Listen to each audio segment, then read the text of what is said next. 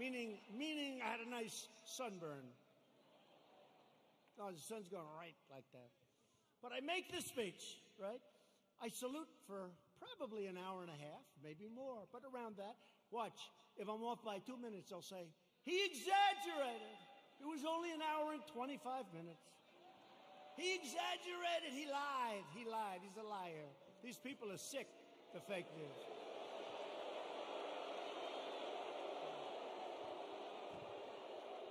So then, so then, I finished saluting my final salute. I said, Thank goodness. Thank you very much. But think of it. So essentially, almost 600 times. Now, the general says, Sir, are you ready? I said, I'm ready, General. Where are we going now? You have to understand, I left early in the morning to get there. Now it's sort of late in the afternoon. A lot of these fakers were with us. So they know. He said, Sir, we can now leave the stage. I said, Great, General, let's go. I'll follow you. And he goes like this Right here, sir.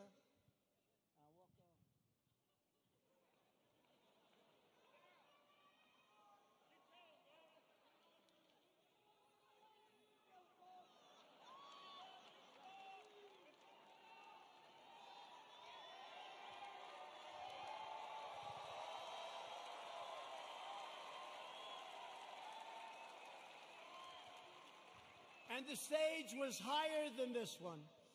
And the ramp was probably 10 yards long. I say, General, now you got to understand, I have the whole Corps of Cadets looking at me. And I want them to love their president. I did this big thing. I love them. I love them. They're incredible. And they do.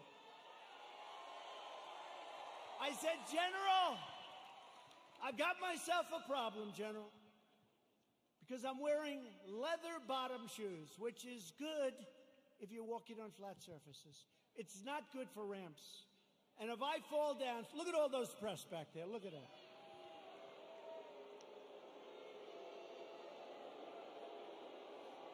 And this was a steel ramp.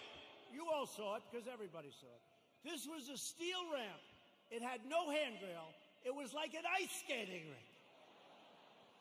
And I said, General, I have a problem. And he didn't understand that at first. I said, There's no way. You understood? I just saluted almost 600 times. I just made a big speech. I sat for other speeches. I'm being baked. I'm being baked like a cake.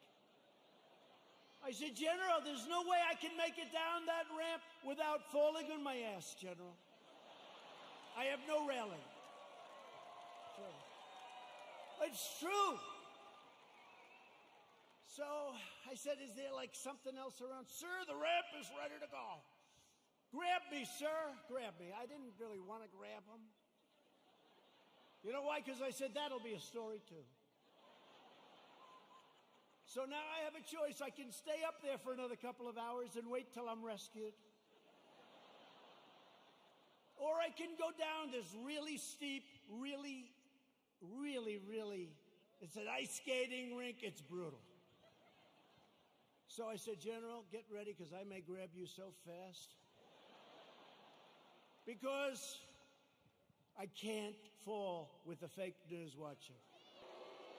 If I fall, I remember when President Ford fell out of the plane, you remember? I remember when another president, nice man, threw up in Japan. And they did slow motion replays. True. Right? It's true. I don't want that, General. Now he's standing there, big, strong guy, and he's got these shoes, but they're loaded with rubber on the bottom. Because I looked, the first thing I did, I looked at his shoes. Then I looked at mine. Very, very slippery. So I end up saying, okay, General, let's go. I will only grab you if I need you. That's not a good story. Falling would be a disaster. It turned out to be worse than anything. Have been better off if I fell and slid down the damn ramp. Right? So, so what happens is I start the journey inch by inch, right? Was really bent over, too. I didn't like that. You know, I didn't like this picture. This picture, I'm sure, will be an ad by the fakers. So I was bent over, right?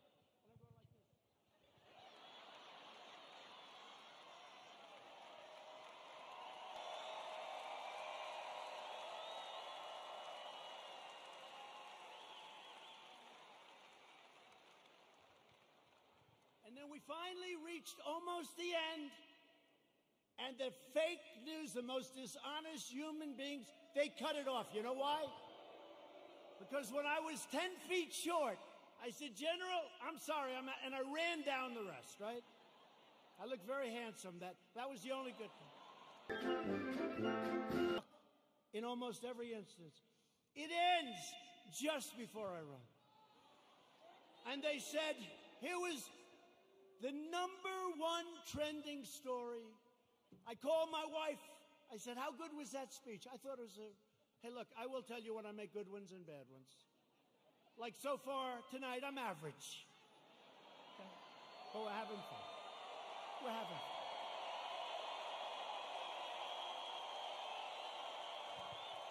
So far tonight. But I called my wife and I said, How good was it, darling? She said, You're trending number one. I said to our great First Lady, I said, Let me ask you a question. Was it that good, the speech, that I'm trending number one? Because I felt it was really good. No, no, they don't even mention the speech. They mention the fact that you may have Parkinson's disease.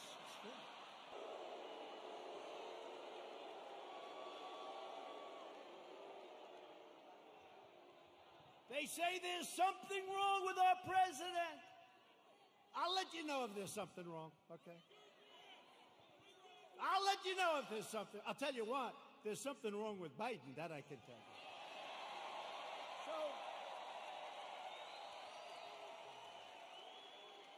so then my wife said, Well, it wasn't only the ramp. Did you have water? I said, Yeah. I was speaking for a long time. I didn't want to drink it, but I wanted to wet my lips a little bit. You know, you're drinking for, you're working hard up there with the sun pouring down on you. I love this location. The sun's like this. This way they save on lighting, right? That's why they did it probably. So what happens is I said, what does it have to do with water? They said, you couldn't lift your hand up to your mouth with water. I said, I just saluted. 600 times. And this was before I saluted. So what's the problem? She said, Well, I know what you did. You had on a very good red tie that's sort of expensive. It's silk because they, they look better, they have a better sheen to them. And I don't want to get water on the tie. And I don't want to drink much. So I lift it up the water. I see we have a little glass of water. Where the hell did this water come from? Right? Where did it come from? And I look down on my tie because I've done it. I've taken water and it spills down into your tie. It doesn't look good for a long time. And frankly, the tie is never the same. So I put it up to my lip and then I say, because I don't want it to, just in case. And they gave me another disease.